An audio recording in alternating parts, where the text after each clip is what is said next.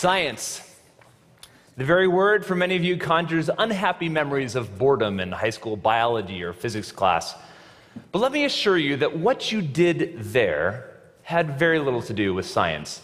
That was really the what of science. It was the history of what other people had discovered. What I'm most interested in as a scientist is the how of science, because science is knowledge in process. We make an observation, guess an explanation to that observation, and then make a prediction that we can test with an experiment or other observation. A couple of examples.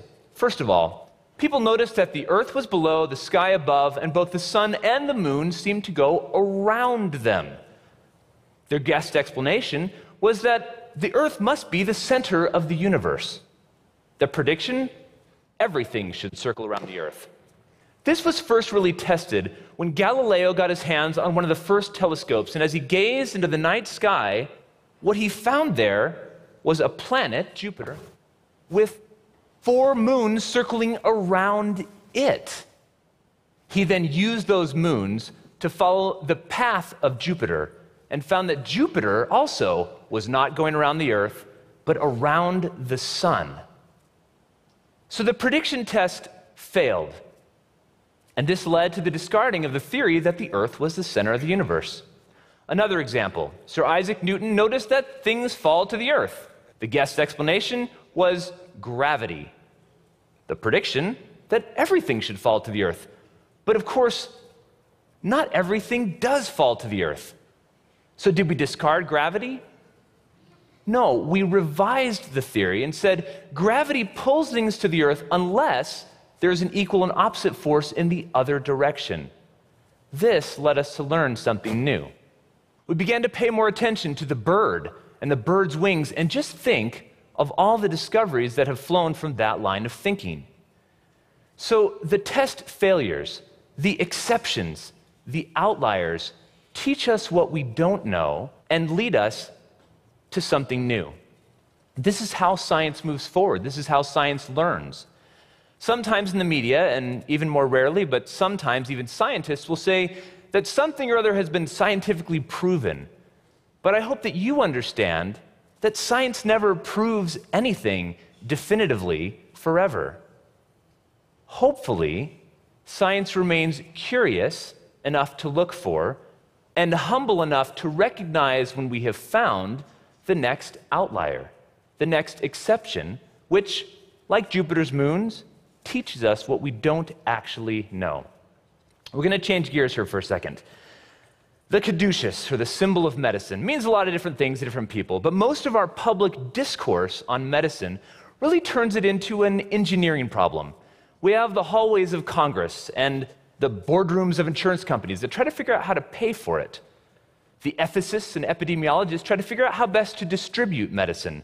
And hospitals and physicians are absolutely obsessed with their protocols and checklists, trying to figure out how best to safely apply medicine. These are all good things.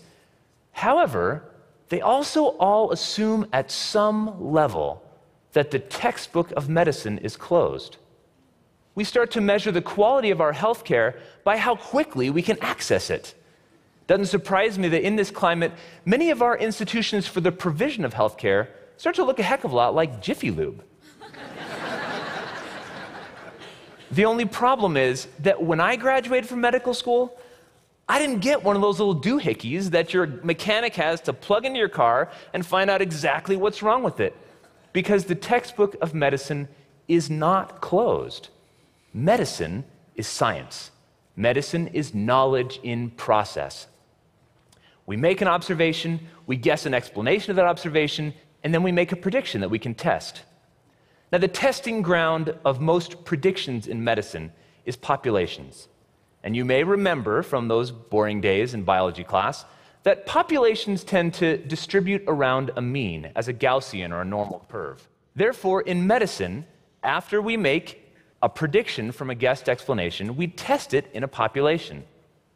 That means that what we know in medicine, our knowledge and our know how, comes from populations, but extends only as far as the next outlier, the next exception, which, like Jupiter's moons, will teach us what we don't actually know. Now, I am a surgeon who looks after patients with sarcoma. Sarcoma is a very rare form of cancer. It's the cancer of flesh and bones. And I would tell you that every one of my patients is an outlier, is an exception.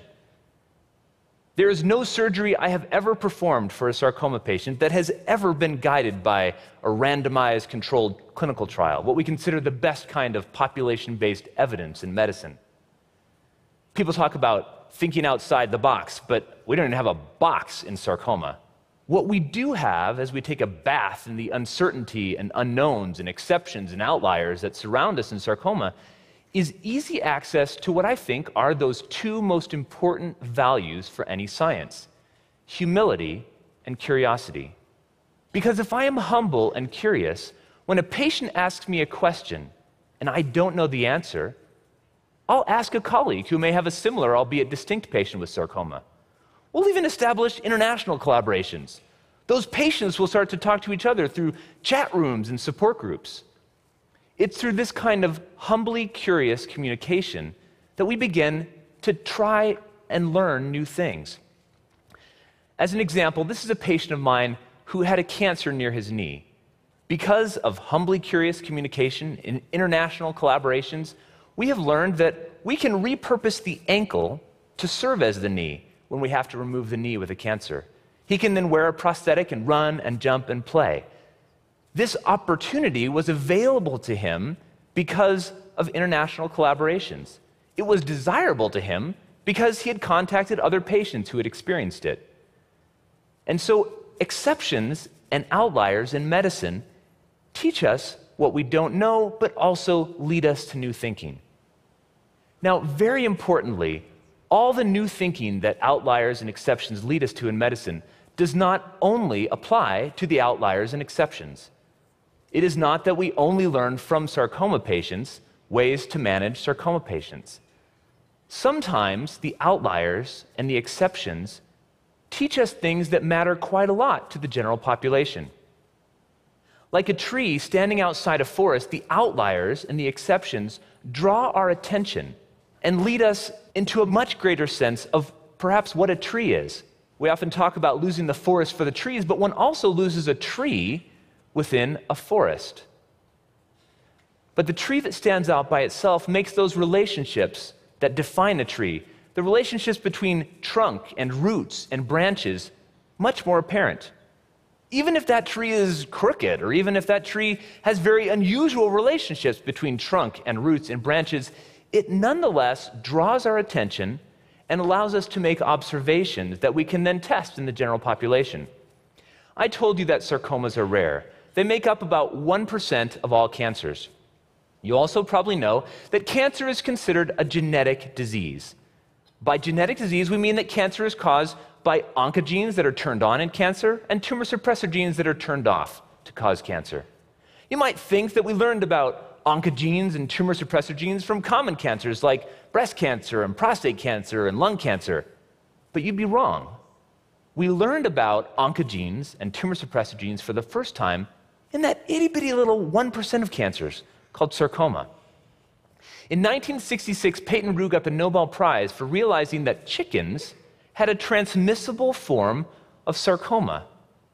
30 years later, Harold Varmus and Mike Bishop discovered what that transmissible element was. It was a virus carrying a gene, the Src oncogene. Now, I will not tell you that Src is the most important oncogene. I will not tell you that Src is the most frequently turned on oncogene in all of cancer, but it was the first oncogene.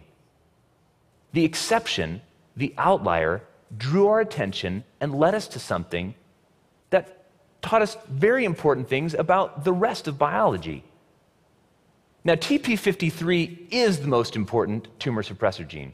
It is the most frequently turned off tumor suppressor gene in almost every kind of cancer. But we didn't learn about it from common cancers. We learned about it when doctors Li and Fraumeni were looking at families, and they realized that these families had way too many sarcomas. I told you that sarcoma is rare. Remember that a one in a million diagnosis, if it happens twice in one family, is way too common in that family. The very fact that these are rare draws our attention. and leads us to new kinds of thinking.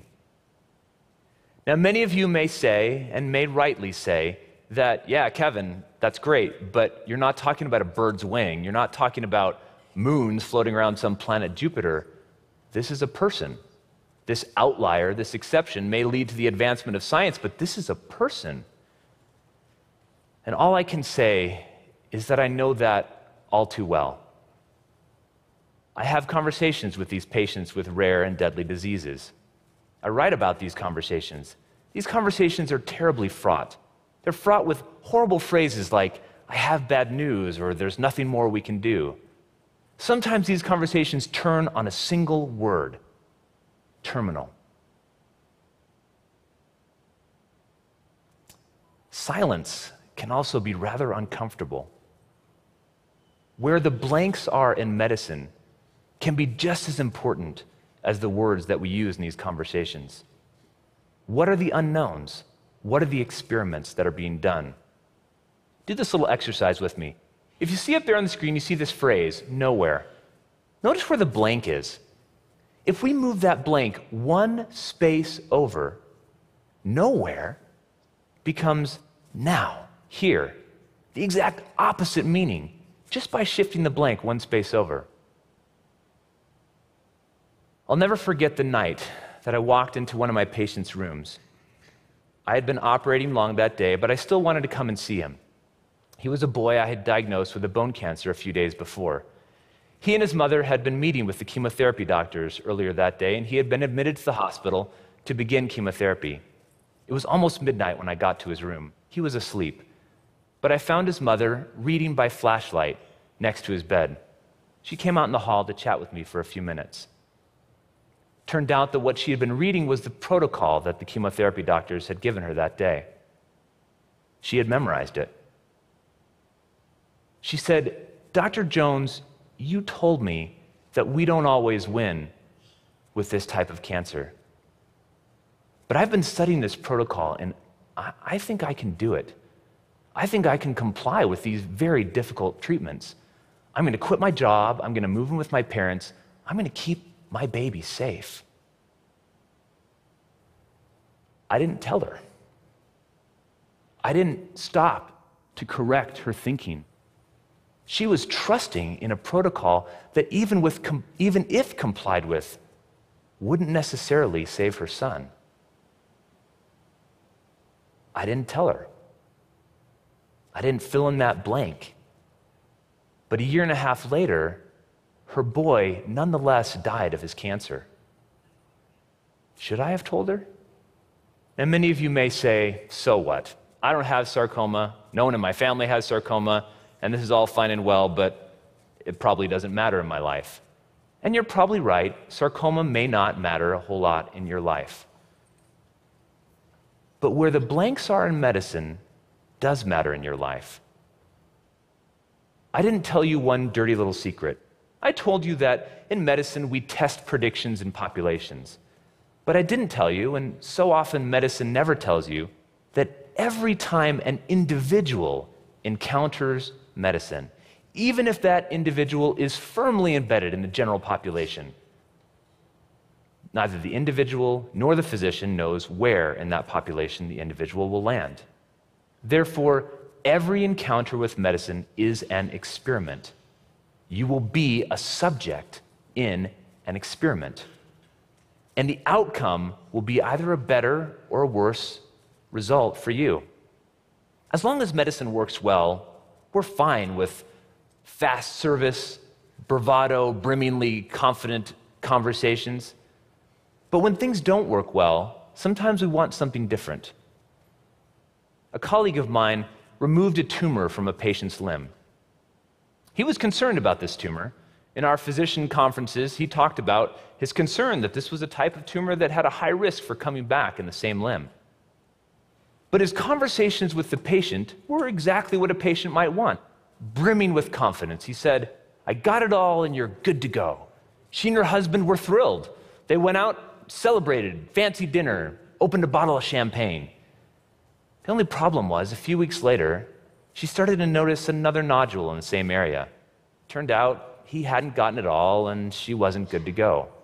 But what happened at this juncture absolutely fascinates me. My colleague came to me and said, Kevin, would you mind looking after this patient for me? I said, Why? You know the right thing to do as well as I do. You haven't done anything wrong. He said, Please, just look after this patient for me. He was embarrassed, not by what he had done, but by the conversation that he had had, by the overconfidence. So I performed a much more invasive surgery and had a very different conversation with the patient afterwards. I said, Most likely, I've gotten it all, and you're most likely good to go. But this is the experiment that we're doing. This is what you're going to watch for. This is what I'm going to watch for. And we're going to work together to find out if this surgery will work to get rid of your cancer. I can guarantee you, she and her husband did not crack another bottle of champagne after talking to me. But she was now a scientist, not only a subject in her experiment. And so I encourage you to seek humility and curiosity in your physicians. Almost 20 billion times each year, a person walks into a doctor's office, and that person becomes a patient. You or someone you love will be that patient sometime very soon. How will you talk to your doctors? What will you tell them? What will they tell you? They cannot tell you what they do not know, but they can tell you when they don't know. If only you'll ask. So please, join the conversation. Thank you.